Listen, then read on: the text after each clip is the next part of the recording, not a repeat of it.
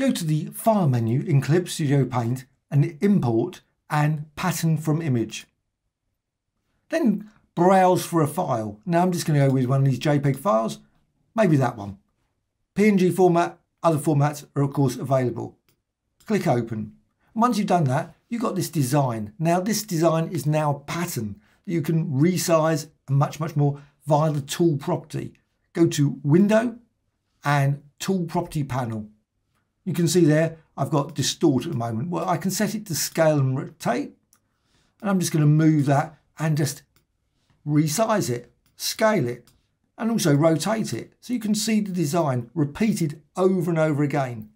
You've also got an option here for tiling. So if that you don't see that tiling, you just see that, which is maybe not what you want. You can just set it on just by clicking there. So that's the key thing, right at the bottom. You think it'd be right at the top, but there it is at the bottom, tiling. And you can also set it, which I think is nicer, to the reverse option. You can select there, reverse. You can also flip as well. And you can resize that, move around. But also what you can do, you can change scale, rotate, free transform, and distort perspective.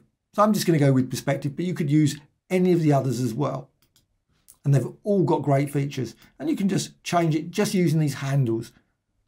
You can see as you do that, make it like three-dimensional space. A whole range of different designs can be created very quickly using this approach. And you can still continue to move it like that and also change its position, the center point.